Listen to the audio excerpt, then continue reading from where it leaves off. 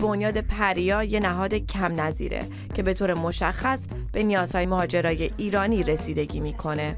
من با مؤسس این بنیاد احمد تبریزی ملاقات کردم.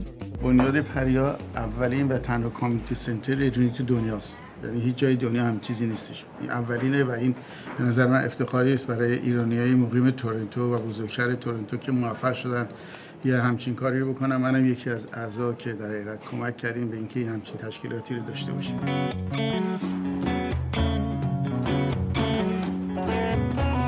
که ما الان روز هر روز اینجا از ساعت 9 تا ساعت 3 4 بعد از ظهر کلاس انگلیسی داریم در سطوح مختلف.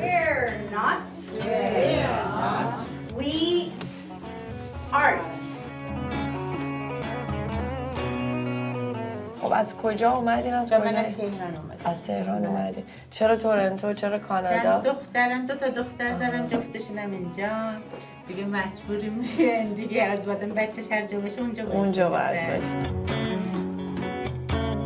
کلاس انگلیسی رو Catholic Board Education York Region پولشو میده.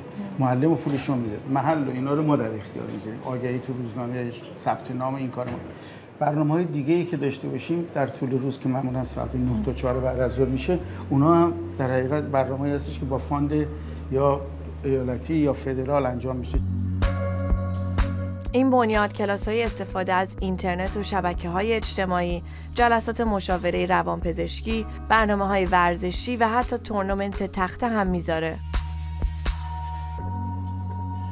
دوست داشتم بدونم برای احمد انگیزه چنین کارهایی از کجا شروع شد.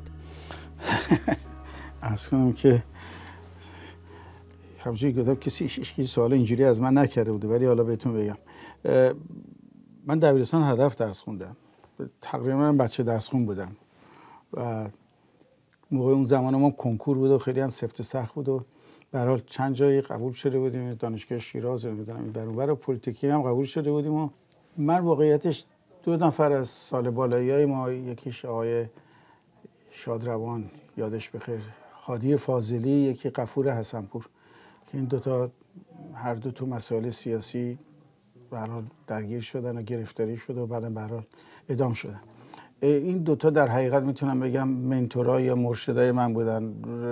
با من خیلی لطف داشتن و به هر حال دید منو به یه سری مسائل دیگه باز کردن و حال همیشه این برای من بود که به اون سمت کشیده شدم که اگر کاری میشه کرد برای آدم ها باعث بکنه آدم و یه مسئولیتی دیگه هم غیر از خودش و زندگی خودش داره نسبت به بقیه آدم ها نسبت به محیط خودش.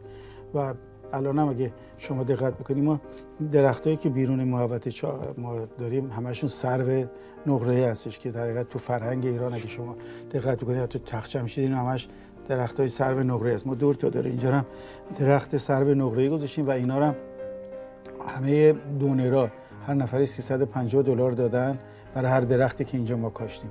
بعد اسامی کسانی که دادن رو من اونجا توی در ورودی حالا موقعی که تشریف بخوایم بریم می‌تونیم ببینید اسامی کسانی که پول دادن اونجا هست.